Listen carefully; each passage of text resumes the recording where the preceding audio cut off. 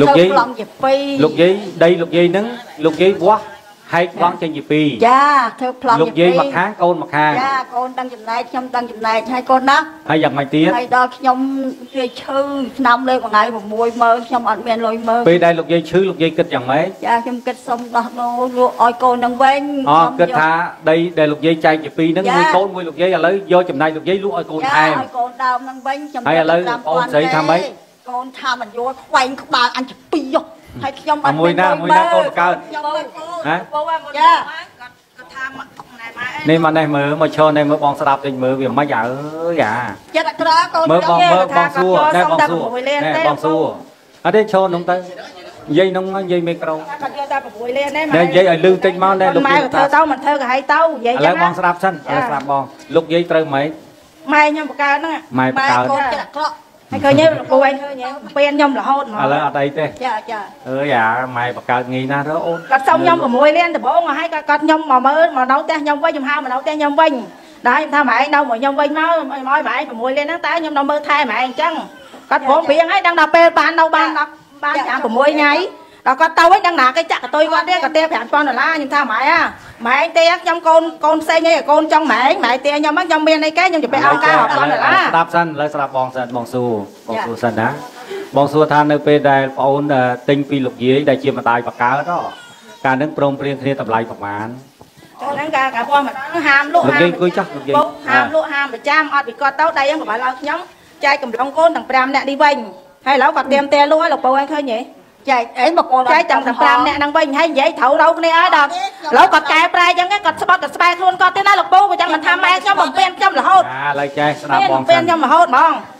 ឥឡូវចេះឥឡូវបងឥឡូវចេះបងសួរមួយម៉ាត់ណាបងសួរថាដីហ្នឹងពីមុនមកដីរបស់លោកយាយទាំងអស់ហ៎អត់ទេដៃហ្នឹងដៃខ្ញុំទិញមកប្រៃខ្ញុំគាត់ប្រឹងទេថាដៃគាត់ពាក់កណ្ដាលចាំម្ចាស់លក់ដល់ចាអូនម្ចាស់លក់ហ្នឹងម្ចាស់លក់កែប្រែម្ចាស់លក់មិនដឹងអ្មិនចេះខ្ញុំមិនដឹងដែរឥឡូវបងសួរឥខ្ញុំឡូវមិនបងបានទៅសួរសិនឥឡូវចេះ មកគេគាត់ទៅខ្ញុំអត់យកឲ្យលោកពៅកាដល់ស្រ័យខ្ញុំថាគេគាត់ឯងមិនស្ដាប់បងសិនអញសួរមិនឆ្លើយចឹងមកបងសួរបងសួរថាដីហ្នឹងពីមុនមកម្ចាស់ដើមជារបស់អ្នកណាម្ចាស់ដើមបោះតថេនតាថេនអ្នកណាអ្នកទិញ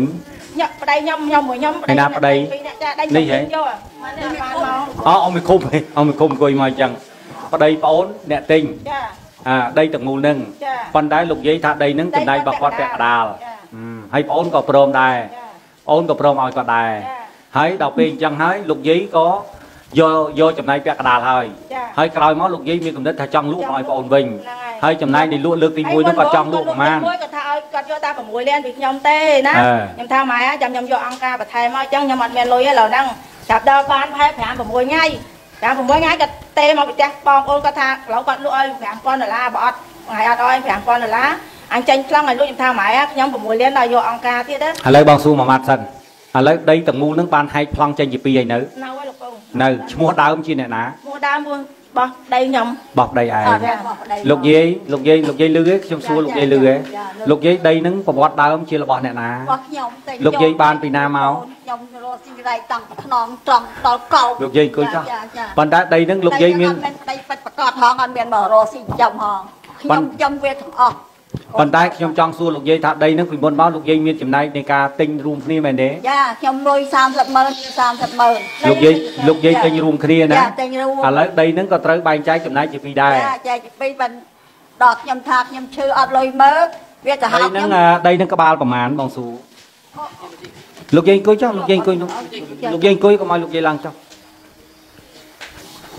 ដីហ្នឹងក្បាលប្រមាណអាអានេះហើយឈ្មោះអីបងសួរ នោះវងកាយណាហ៎ចាចាខ្លួនឯងឈ្មោះចន្ទាហ៎អាចន្ទាឥឡូវបងសួរមើលដីហ្នឹងទំហំប៉ុណ្ណាដីមកអូនអូដីហ្នឹងនេះបងឃើញហើយបដោយ58កន្លះទៅទឹង27ណាប៉ុន្តែឥឡូវនេះបងគិតថាអឺច្បាប់ដើមនៃដីទាំងមូលនេះនៅ ជាកម្មសិទ្ធិប្តីប្អូនចាប្តីប្អូនអ៊ំមិនឃុំ មើលខ្ញុំចង់សួរអ៊ំមួយម៉ាត់ថាតើប្រវត្តិដីនេះដីខ្ញុំប្រវត្តិពិតជាដីរបស់អ្នកណាខ្ញុំអត់សួរលោកយាយឲ្យប្អូនស្រីអាចិន្តាទេព្រោះគាត់ឆ្លោះគ្នាហើយរឿងរឿងនេះអាយដាមសូមគ្រប់អាយដាមដែលរឿងបញ្ហានេះគឺបាក់អាយដាមបានដោះស្រាយនៅសាលាគុំម្ដងហើយអញ្ចឹងគឺគោលការណ៍របស់អាយដាមគឺឲ្យក្រុមការងារវាស់វែងដើម្បីបែងចែកបែងចែកចេញជាពីរបាទបាទ ការពេលដែលឆ្លោះគ្នាដំបូងហ្នឹងគឺយើងបានបែងចែកហើយចេញជាពីរបាទណាប៉ុន្តែឥឡូវបានចេញជាពីរហើយហ្នឹងវាចូលវគ្គមួយទៀតគឺលោកយាយគាត់ចង់លក់បាទណាអញ្ចឹងគឺបើសិនណាគាត់ចង់លក់គឺតាមមតិរបស់មេឃុំគឺតែចង់មកសម្រួលឲ្យម្ដាយនិងកូនពិភាក្សាគ្នាចរចា ដែលអាចគាត់អាចទទួលយកបានឥឡូវចរចាដើម្បីវាអត់កើតហ្នឹងហើយបានមកដល់ហ្នឹងឥឡូវជាយោបល់អ៊ំអ៊ំយល់ថាម៉េច ខ្ញុំយល់ថាមានតែការចរចាជាមួយម្ដាយនិងកូឥឡូវនចេទេះដើម្បីដាក់បាទតម្លៃមួយសមរម្យទៅឲ្យឥឡូវម្ដាយឥឡូនឹងវចេះអាចទទួលយកបានបាទបាទឥឡូវអចិន្តាបើលោកយាយប្រហែលជាគាត់ចង់បានអញ្ចឹងអូនឯងអាចមានលទ្ធភាពប៉ុន្មានមើលប្រាប់បងមើលបានលទ្ធភាពតែមកគាត់ទៀពីខ្ញុំមុនហ្នឹងគ្រូ5 6លានហ្នឹងខ្ញុំមានលទ្ធភាពបានកុំដាក់ច្រើនពេកបងអត់ញ៉ាំឥឡូវអូនឯងមានលទ្ធភាពត្រឹម5 6លានចា 5 6លានអូនឯងបានឲ្យគាត់ទៅឲ្យ1000គាត់ឲ្យគាត់មកមើលថែនៅហ្នឹងមួយគាត់យ៉ាទៅនៅបានឥឡូវលោកយាយលោកយាយអញ្ចេះបានទេស្ដាប់បងសិនស្ដាប់បងសិនឥឡូវស្ដាប់បងលោកយាយយក5000ហ្នឹងទៅចាយតែមួយថ្ងៃយ៉ាឬខ្ញុំក៏អីមិនចាយមួយថ្ងៃខ្ញុំមើលជំងឺខ្ញុំមួយថ្ងៃភ្លេច5 6ម៉ឺនលុយខ្ញុំទៅនៅហៅខ្ញុំទៅនៅ3ថ្ងៃអត់សួរថាយាយអីអាម៉េចអីអាម៉េចទៅឆ្នាំអត់អត់ស៊ីបាយតាមឆ្អិនទៅក្រោយ ខ្ញុំនៅមិនបានទេខ្ញុំបានយកឲ្យ6លានព្រោះអត់ថែខ្ញុំហ្មងឆ្នាំក៏អត់ទិញអីអត់ទិញខ្ញុំកែប្រែហើយកូនខ្ញុំផ្ញើនោះរាល់ខែលោកគ្រូអត់មានឆ្លើយថាគឺខ្ញុំលីណាឥឡូវបានតែចេះកូនញ៉ាំចន្ទាខ្ញុំមិនចន្ទាចន្ទាចេះចន្ទាស្ដាប់បងណាណែចន្ទានេះស្ដាប់បងអូនឯងឥឡូវអាយុប្រហែលហើយខ្ញុំតែជាង40ម៉ានតែមកតែចាំតែមួយអា46អូនឯងការអាយុប្រហែល ចាតាំងពីអាយុ14ហ្នឹងប៉ុន្តែគ្នាដៃមុនដៃឥក្រោឡូយវលោក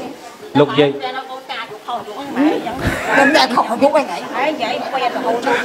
ឥឡូវបងសួរណាចាឥឡូវចាចេះទៅឥឡូវបងសុំចិត្តចេះលោកយាយគាត់ជាម្ដាយគាត់ខុសឆ្គងឲ្យបងពេញកតាបកិច្ចឲ្យចប់ទៅណាលុយយើងរកបានទេឥឡូវបងសួរឥឡូវចេះចាំបងនិយាយជាមួយគាត់ណាឥឡូវបងនិយាយជាមួយគាត់ឥឡូវបងគិតថាជាសំណុំពរចុងក្រោយនៃជីវិតរបស់គាត់បងគិតថាប៉ុណ្្នឹងមិនមិនអីច្រើនទេ អូនឯងគិតថាលុយ4 5000នេះអូនឯងអាចចំណាយទៅហើយអូនឯងមិនមានវប្បធម៌សេរីទេនៅពេលដែលគាត់ចាស់ទៅណាហើយក៏បងមិនអាចយកលុយប៉ុណ្្នឹងទៅរកម្ដាយបង្កើតបានដែរតែបើជាគំនិតរបស់បងបងនឹងនិយាយជាមួយនឹងលោកយាយកុំឲ្យលោកយាយគាត់យកទាំងដុំតែម្ដងអីគាត់យកជាដំណាក់កាលនៅពេលដែលគាត់ត្រូវការទៅចោះហើយបងអូនប្រឹងប្រែងនៅអានេះគេហៅថា ជាអមរែកដែលយើងត្រូវរែកបងអូនកុំគិតថាលុយប៉ុណ្្នឹងច្រើនមិនច្រើនទេសម្រាប់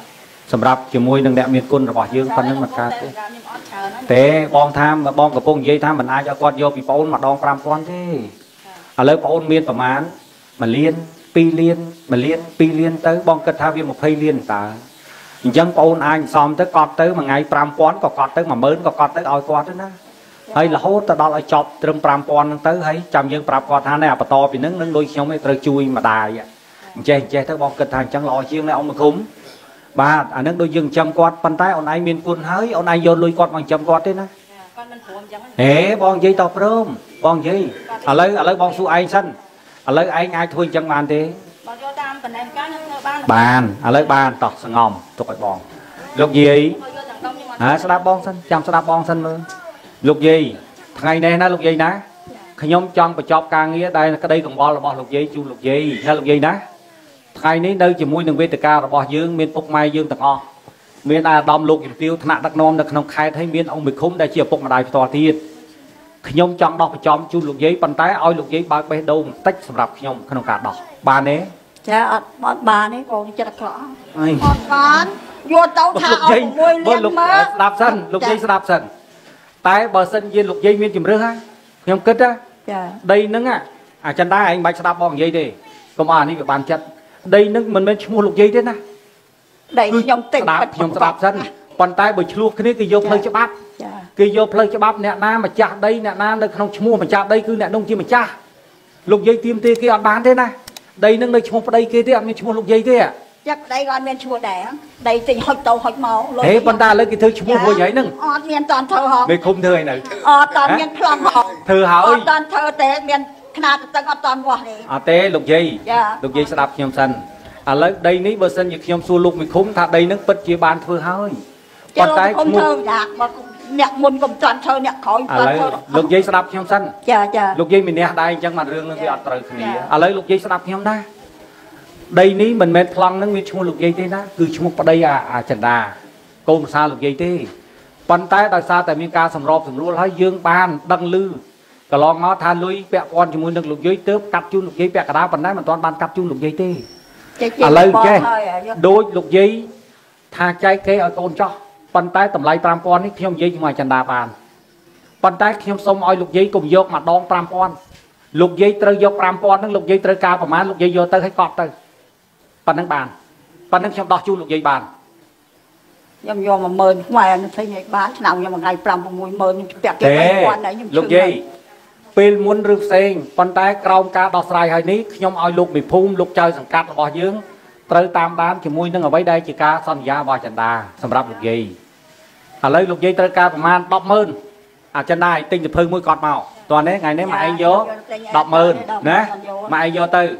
ណាមកលៀនមកឯងយកទៅតោះនេះបងឲ្យធ្វើប៉ុណ្្នឹងបានលោកយាយលោកតាខ្ញុំគិតចឹងត្រូវខុសអត់ខ្ញុំអត់យកប៉ុណ្ណឹងលោកយាយបើសិនជាលោកយាយអត់យកទេមានតែអត់នោះណា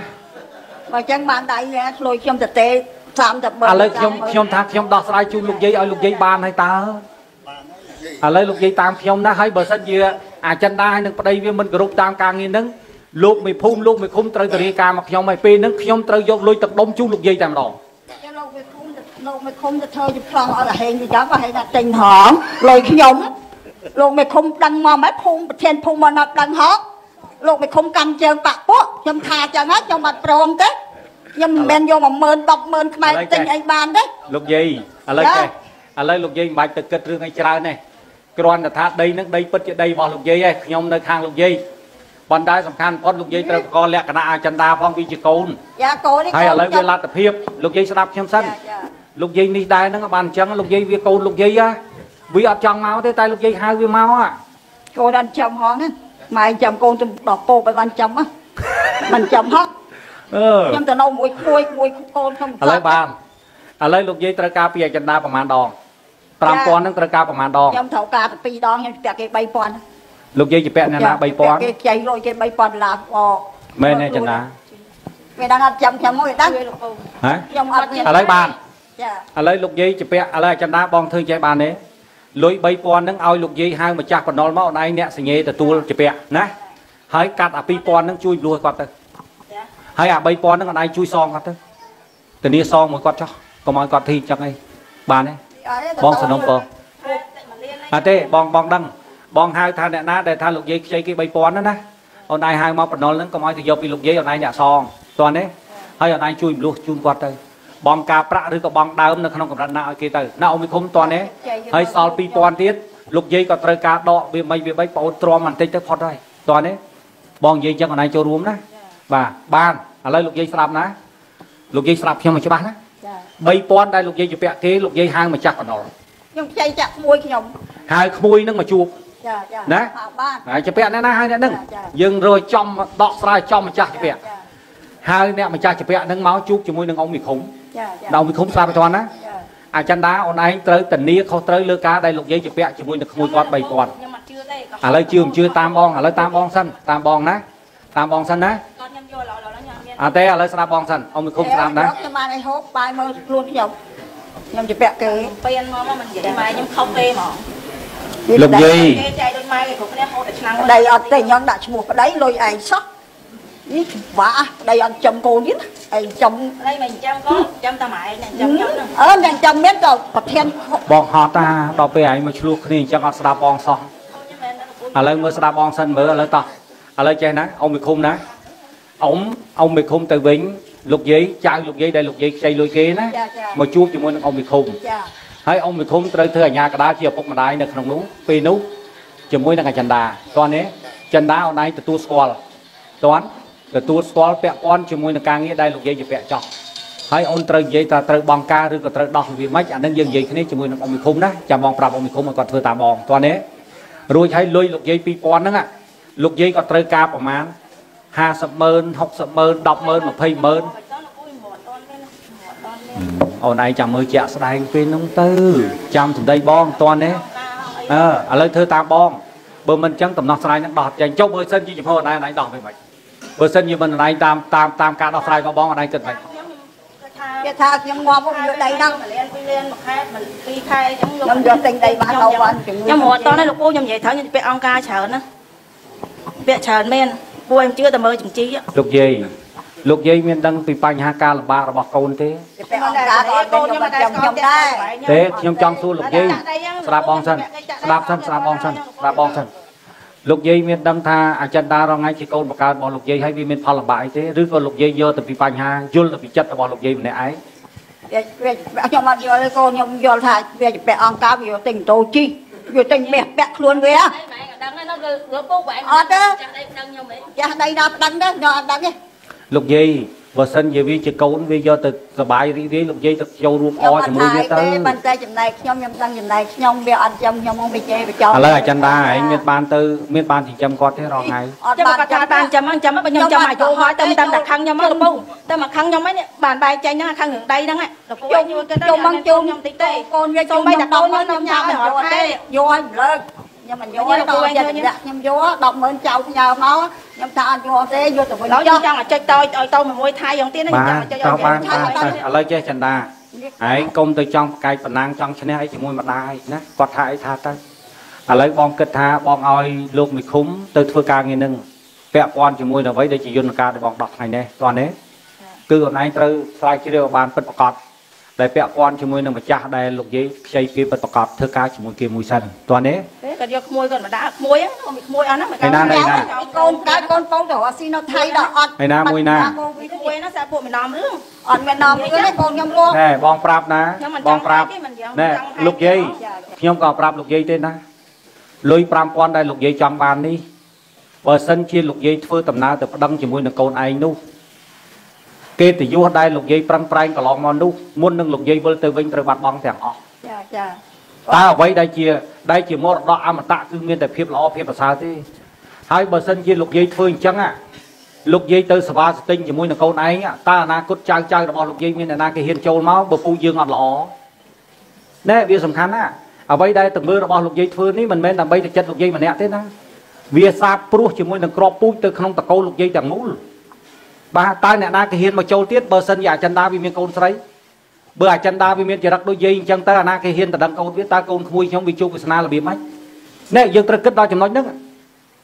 មិនមែនយើងក្តីក្តាមគ្នាចង់បានលុយបន្តិចបន្តួចហ្នឹងដើម្បី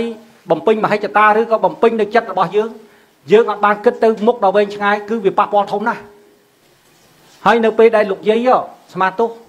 ពេលដែលលោកយាយវិលទៅវិញដោយសាររឿងប៉ុណ្្នឹង អ្នកភូផងលបងចិត្តខាងគេនឹងយកឈ្មោះលោកយាយមកនិយាយអញ្ចឹងអ្វីដែលលោកយាយសេះសល់នៅក្នុងជីវិតនេះគឺអត់មានតលតែសោះអត់មានតលតែសោះតើយើងគប្បីត្រូវយកអញ្ចឹងឬក៏របៀបម៉េចខ្ញុំចង់សួរចាខ្ញុំប្រាប់កអូនញ្ចឹងលោកយាយចង់បានអញ្ចឹងដែរឬក៏អត់កូនកូនខ្ញុំមានពោឯងក៏មានចំណែកក្នុងនឹងដែរអត់ទេលោកយាយស្ដាប់ខ្ញុំសិនចាលោកយាយនៅតែវិលវល់ជាជុំវិញជាមួយនឹងមហិច្ឆតាដែលលោកយាយចង់បានលោកយាយផ្អែកមកលើស្ថានភាពអចិន្តាខ្ញុំប្រាប់វាលើកមុនវាធ្វើតាមខ្ញុំ ពេលដែលទៅសាលាឃុំខ្ញុំប្រាប់អចិន្តាឲ្យត្រូវយកចិត្តទុកដាក់ជាមួយម្ដាយត្រូវផ្ដល់ដីដល់ធ្លីរបៀបម៉េចវាធ្វើតាមខ្ញុំចាអត់ប៉ុន្តែខ្ញុំអត់ទាន់បានសុំពីលោកយាយឲ្យលោកយាយត្រូវប្រកបផ្ដល់ឲ្យខ្ញុំទេណាចាចាដែលខ្ញុំត្រូវសុំឲ្យលោកយាយជួយបើកបេះដូងឲ្យទលាយជាមួយនឹងកូនជាមួយនឹងចៅលោកយាយអត់ទាន់បើកទេណាឥឡូវខ្ញុំគ្រាន់ជម្រាបជូនទេថាអ៊ំមីឃុំដើម្បីបញ្ចប់បញ្ហានេះហើយនាំមកនៅសុភមង្គលជាមួយនឹងក្រុមគ្រួសារយើងកូនក្មួយយើងម្ចាស់បំណុលដែលលោកយាយថាខ្ចី3000គឺឲ្យមកជួបជាមួយអចិន្តាណា សល់2000ទៀតគឺលោកយាយត្រូវយកតាមលំដាប់រំលោះទៅអចិន្តាមើលថាគាត់យកទៅនឹងនៅក្នុងទំហំការងារនឹងវាសមស្របដែរឬក៏អត់តោះទេផ្ដល់ជូនប៉ុណ្ណឹងតាមលទ្ធភាពដែលបងអូនមានតោះលោកយាយលោកតាខ្ញុំគិតចឹងត្រូវខុសមើលបើត្រូវផ្ទះដៃមួយវិញតែប៉ុណ្ណឹងដែលខ្ញុំចង់និយាយគឺប៉ុណ្ណឹងហើយលោកយាយខ្ញុំសុំចិត្តលោកយាយណាលោកយាយកុំចង់ឈ្នះកូនកុំចង់ប្រើប្រាស់សិទ្ធិរបស់ខ្លួន កាលណាលោកយាយទៅថ្ងៃមុខ លោកយាយអនិច្ចធម៌ស្មាទោសបន្សល់នៅទុកគេឈ្មោះនេះសម្រាប់ឲ្យកូនសម្រាប់ឲ្យចៅគេថាណោជីដូនវាណោដោយសារតែរឿង5000ទេប្តឹងពីភូមិរហូតដល់ខេត្តចាបើខ្ញុំលក់ឲ្យអ្នកក្រៅមាន5000លោកលោកកូនលោកយាយណាខ្ញុំចង់សួរលោកយាយទឹកចិត្តលោកយាយដែលយើងពោពោះ9ខែ10ថ្ងៃចំពោះកូនហើយចិញ្ចឹមវាប៉ុណ្ណឹងវាមានតម្លៃលើស5000នឹងរាប់កោតដងតើលោកយាយចង់ឲ្យវាបំភ្លេចគុណលោកយាយត្រឹម5000នឹងឬក៏របៀបម៉េចលោកយាយត្រូវគិតបញ្ហាហ្នឹង បើលោកយាយគិតពីបញ្ហាហ្នឹងវាមិនបានស្មើនឹងសរសៃសក់លោកយាយមួយដែលសិតឲ្យវាផងឥឡូវអចិន្តាវាមានចម្លែកមានលទ្ធភាពខ្ញុំនិយាយជាមួយប្អូនថាឲ្យវាជួបជាមួយនឹងម្ចាស់លុយដើម្បីពិគ្រោះគ្នាត្រូវសងរបៀបម៉េចបងការរបៀបម៉េចសល់2000លោកយាយអាចមកដកពីអចិន្តានៅក្នុងតម្រូវការជាក់ស្ដែងលោកយាយទិញថ្នាំប្រមាណលោកយាយទៅវត្តប្រមាណអចិន្តាផ្ដល់លទ្ធភាពអានេះជាអមរេចរបស់យើងយើងត្រូវរែកនៅណាអូនឯងធ្វើតាមបងតើនេះចាបងសម្រេចថាអញ្ចឹង លោកយាយមិនសល់ទុកគេឈ្មោះទាំងអស់នេះសម្បត្តិមនុស្សល្អលោកយាយមិនងាយរកទេហើយសម្បត្តិមនុស្សល្អក៏ចាយមិនចេះអស់ដែរវាជាសម្បត្តិអមតៈមិនមែនស្មើនឹងលុយ5000ហ្នឹងទេលុយ5000នេះដូចខ្ញុំបញ្ជាក់ម្ដងទៀតមិនស្មើនឹងលោកយាយថែសក់អចិន្តាពីតូចក្រូចឆ្មារហូតមកទល់ថ្ងៃនឹងមកសរសៃផងមិនស្មើតម្លៃប៉ុណ្្នឹងទេហើយបើលោកយាយយកលុយ5000ហ្នឹងធ្វើធំដុំសម្រាប់វាតើឲ្យវាប្រណិប័តលោកយាយរបៀបម៉េចលោកយាយត្រូវគិតពីតម្លៃខ្លួនឯងគិតពីតម្លៃខ្លួនឯង ថាយើងលះបង់ជាមួយនឹងកូនមួយជីវិតនេះចិត្តដល់ថ្ងៃទៅវិញហើយតើយើងគប់បីធ្វើនៅទង្វើតិចតួចនេះសម្រាប់ឲ្យវាសងមកសៅអញ្ចឹងឬក៏របៀបម៉េចសំខាន់ណាស់សំខាន់ណាស់អញ្ចឹងហើយដំណោះស្រាយខ្ញុំខ្ញុំគិតថាខ្ញុំដោះស្រាយត្រឹមប៉ុណ្្នឹងតាំងពីថ្ងៃលោកកូនកាត់ដីមកវាមានឆ្កល់ខ្ញុំណាទៅមកឆ្កល់កន្លែងហ្នឹងណាឥឡូវចេះណាចិន្តាចាមានចាំខ្ញុំបងណាសុំឲ្យឯងឥឡូវបើប្អូនមិនចិញ្ចឹមលោកយាយទេលោកយាយមួយខែប្រសាអង្គអស់ប្រមាណខ្ញុំមិននៅជាមួយហងឥឡូវលោកយាយប្រសាអង្គអស់ប្រមាណ ខ្ញុំបានហូបអស់ប្រហែលនេះតែប៉ិនខ្ញុំឈឺជំងឺខ្ញុំទេឥឡូវបានអចិន្តាឥឡូវឯងជាមួយបងបងយកការងារនេះមកដោះស្រាយបងត្រូវមានភាពទំនួលខុសត្រូវជាមួយខ្លួនឯងតោះនេះអង្គលោកយាយមកយកពីសាលាខេត្តបងចិញ្ចឹមលោកយាយតន់លោកយាយភាសាប្រមាណបងឲ្យតន់នេះលោកយាយឈឺឯងទេមកបងបងឲ្យទៅពេទ្យដោយមិនបាច់ប្រើប្រាស់សេវាជាចំណែកសេវារបស់រដ្ឋាភិបាលរបស់សម្ដេចតន់ចាអត់មានឲ្យស្អីទេ ប៉ុន្តែបងអូនគ្រាន់តែផ្ដល់ទឹកក្តៅទឹកត្រជាក់ប្រចាំថ្ងៃហើយនឹងជាមួយនឹងភាពកក់ក្តៅដែលគាត់ចង់បានខ្ញុំឯងគាត់មិនមកនៅឥឡូវគាត់នៅមិននៅឲ្យចោះប៉ុន្តែបងអូនត្រូវតែបំពេញកាតព្វកិច្ចអូតន់ទៅនៅបាន3ថ្ងៃបើប៉ុណ្្នឹងបងបងបងនិយាយប៉ុណ្្នឹងបងអូនស្ដាប់បានទេបានទេទទួលយកបានទេចាអាឥឡូវបងបញ្ជាក់ម្ដងទៀតសរុបមកវិញដើម្បីបញ្ចប់រឿងនេះទី1អមវិឃុំចាំណាអឺឯណាចវាយស្រុកកដៀងអឺអឺបាកានអូនលេងអូនឯងចាំជាមួយនឹងអមវិឃុំទី1 លោកយាយជាពាក់លុយគេ3000គឺឲ្យមកជួបជាមួយនឹងអាចិន្តាដែលក្នុងចំណែកលុយលោកយាយ5000ដែលអាចិន្តាត្រូវតិចតែគាត់អាចិន្តាធ្វើការកាត់កងតន់ហើយបងអូនសួរមើលតើការរបៀបម៉េចអីរបៀបម៉េចបងអូនពិនិត្យលទ្ធភាពតាមហ្នឹងណាបងណាបាទឲ្យចូលរួមជួយ ទី2នៅសល់2000នៅសល់2000នេះលោកយាយតម្រូវការនៅក្នុងការងារដែលគាត់ត្រូវការប្រមាណនៅក្នុងការងារជាក់ស្ដែងទិញថ្នាំប្រមាណទៅវត្តប្រមាណគាត់ត្រូវការឲ្យចៅគាត់ប្រមាណបងអូនផ្ដល់ឲ្យគាត់ទៅ ហើយដកនៅក្នុងលុយ2000ហ្នឹងតន់តន់ទេបាទចំពោះលោកយាយភាសាបាយត្រូវការអង្គមកយកសាលាខេត្តពួកបងចាំច្រើនណា6 700នាក់ណាពុកម៉ែយើងនៅក្នុងខេត្តណាថែមលោកយាយម្នាក់ទៀតក៏អត់មានច្រើនដែរតន់បងត្រូវត្រង់តន់លោកយាយឈឺមកមន្ទីរពេទ្យណាយើងមានសេវាសមត្ថភាពរបស់យើងដែលជា សេវារបស់រាជរដ្ឋាភិបាលរបស់សម្ដេចតេជោតន់គឺមិនអនុញ្ញាតត្រូវយកតម្លៃសេវាព្យាបាលទេតន់ ទេមកបងផ្ទាល់ក្រុមការងារថតរូបលោកយាយបាញ់ទៅឲ្យប្រធានមន្ទីរពេទ្យខេត្តណាតើប៉ុណ្្នឹងអាចសំលមងយកបានទេដូចអស់ហើយប៉ុណ្្នឹងអាចយកបានទាំងអស់គ្នាទេលោកយាយលោកតាបើបានផ្ទះដៃមួយជូនលោកយាយ100000បច្ច័យ4ណាថោណាជូនលោកយាយ100000បច្ច័យ4ជូនកលោកយាយ2ការ៉ុងជូនមីលោកយាយមួយកេះបានចប់លោកយាយខ្ញុំឲ្យមេឃុំចាត់ចែងតាមអ្វីដែលលោកយាយចង់បានណាលោកយាយណា បាទចប់តែលោកកូនដែរអត់ធ្វើជីវិតឲ្យអត់បានទេអត់បានសោះ100ខ្មែរបានបានដែរអើលេងលេងត្រូវធ្វើតាមបងណាអាចិន្តាបងប្រាប់ណាធ្វើតាមបងណា100ខ្មែរមិនឲ្យខ្ញុំផងណាចិន្តាអើបើសិនជាអូនឯងមិនធ្វើតាមនឹងបងនៅខាងលោកយាយហើយតោះនេះណូណាអឺតោះបានទេតោះតោះបានអញ្ចឹងតោះចប់បាទណាអ៊ំមីឃុំមិនលោកយាយលោកតាសំណុំរឿងហ្នឹងប៉ុណ្្នឹងឯកភាពហ៎បានតោះចប់